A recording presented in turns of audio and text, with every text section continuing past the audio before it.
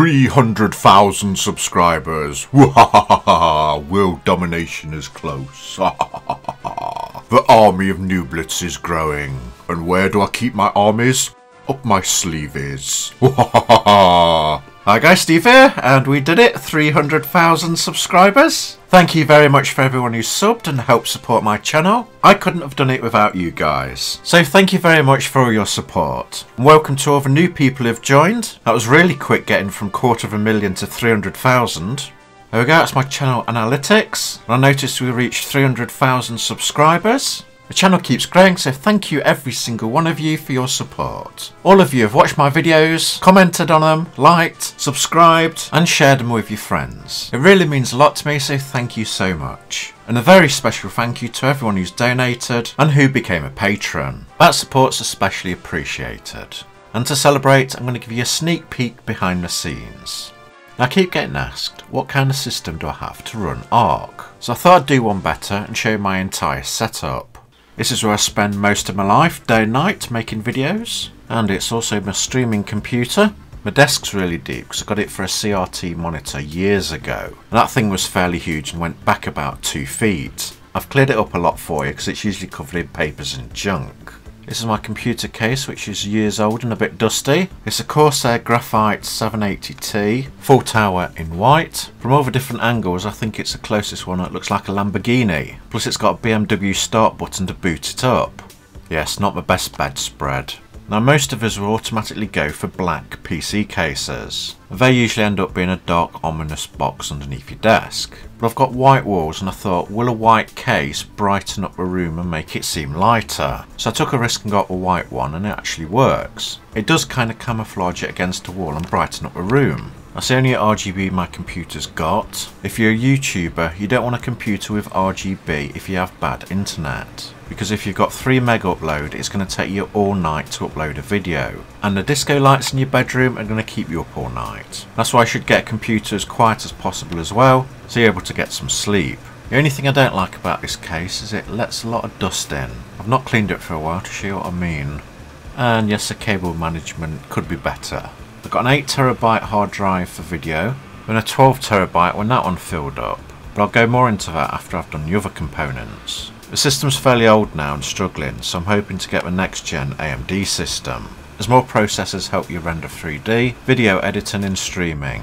My computer's old now, so apart from a 2080 Ti, take these as minimum requirements, as you'll be able to find newer, better parts. My motherboard is an Asus X99 Deluxe. It's been okay apart from the onboard sound crackling and its USB ports playing up for a few years after coming out. The CPU is an Intel i7 5820K, 6 core 12 threads, and it runs at 3.3 GHz. I've not overclocked it as I damaged my last computer, but this one does struggle when I'm streaming, but you can just about get away with doing everything you want to. For RAM I have 32GB of Corsair Vengeance, 2400MHz. The power supply is a Corsair HX1000i. A 1000 watts been able to run everything fine. The CPU cooler is a Corsair H100i, all-in-one water-cooled, two fan with Corsair links, I can link all the Corsair stuff together. I've got a Samsung Evo 250GB purely for the system hard drive a 512 gig Samsung M.2 to put games on that take ages to load like Ark and Star Citizen, then two 1TB SSDs to put all the other games on. Then for my graphics card I've got an MSI RTX 2080 Ti Gaming Trio which can play absolutely everything and took over from my Asus 1080 Ti when that broke. And there's all my system parts again. I got it as soon as DDR4 came out, but I'm trying to hold off to get a new system because PCI Express 4 is going to come out soon. You'll notice that a computer fits underneath the desk on the right hand side. That's because I altered the desk legs for it to work like that. On the left side you have the legs almost button up to the end of the desk. That's how it was originally on the other side. And on the right the legs screwed in a second set of holes. But I move the legs to the left so the computer can sit underneath the desk. And to do that I had to cut the end off a wood board, but that gave enough space to move the legs across. I did this for two reasons. First, the computer goes back so much that I wouldn't have been able to have it under the desk without it sticking out and getting in the way. And second, if you have a drink on top of a desk then knock it over, it won't spill into the computer below.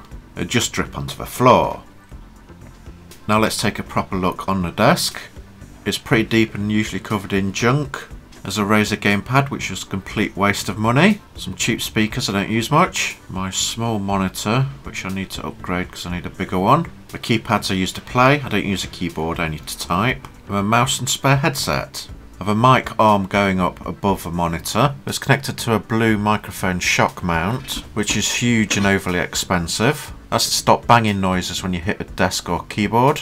And we have a blue Yeti microphone plugged into that, which gives you really good quality sound for the money. And a pop filter in front of that to help stop noises as you speak. You don't really want a microphone on your desk with the stand it comes with, because any vibrations to the desk will go through the stand and you'll hear them on your mic. Don't plug your microphone into a USB hub, otherwise you'll get static pop sounds when you're recording. This is a mic stand you get with a microphone, and I use them as a headset stand.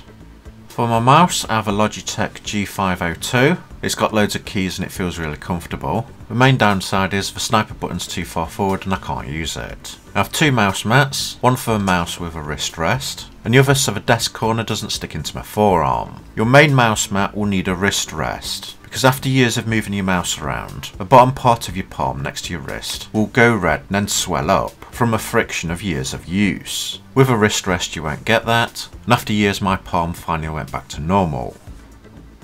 I got a Razer mouse mat only for its wrist pad. It was a rip-off and you could get a mouse for how much it costs. I've got a cheap keyboard because I don't use it to play games, only to chat to people. I got a white one to match my case, but as you can see after years it gets dirty. Yes I could have cleaned it for this video, but I wanted to show you what state we end up in. My decades old Belkin Nostromo N52 which I use to control my games with and is still better than the Razer version because this device actually works properly. This thing's so much faster and more comfortable than using a keyboard. But I may have found a new best controller with this Azeron keypad. I'm testing it at the moment and I'll do a video on it shortly.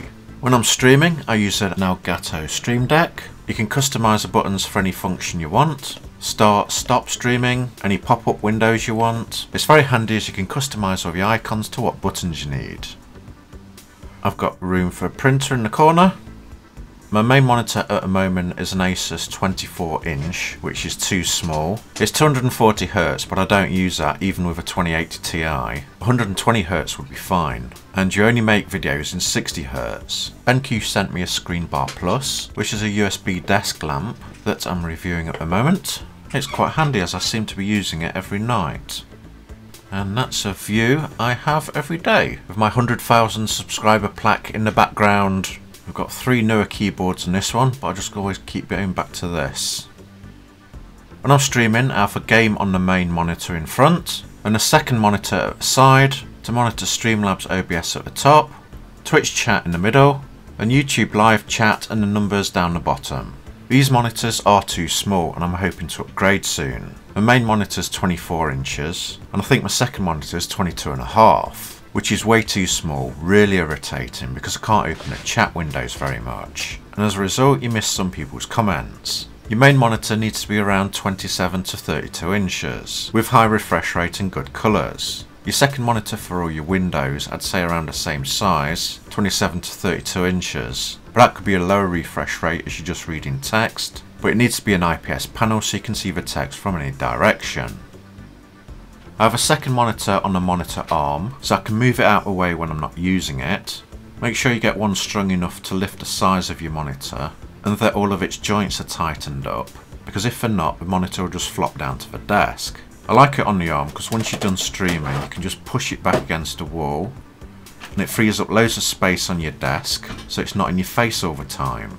When you're starting off YouTubing with no money, try and add one item at a time. A good graphics card is the most important, then a good mic for the sound, a bigger hard drive to store more videos on, and keep adding until you get to where you want. I'm at a stage where I need new monitors, and then when the next gen AMD comes out, I'm going to upgrade my computer to that, as this 6 core 12 thread Intel is struggling to do everything I need now. So if there's any monitor or computer companies want to sponsor me, I'll be up for that. Just get in contact with me and I'll be happy to review them for you. And that's my setup. I hope it's been informative and gave you all some ideas of what to do and not to do.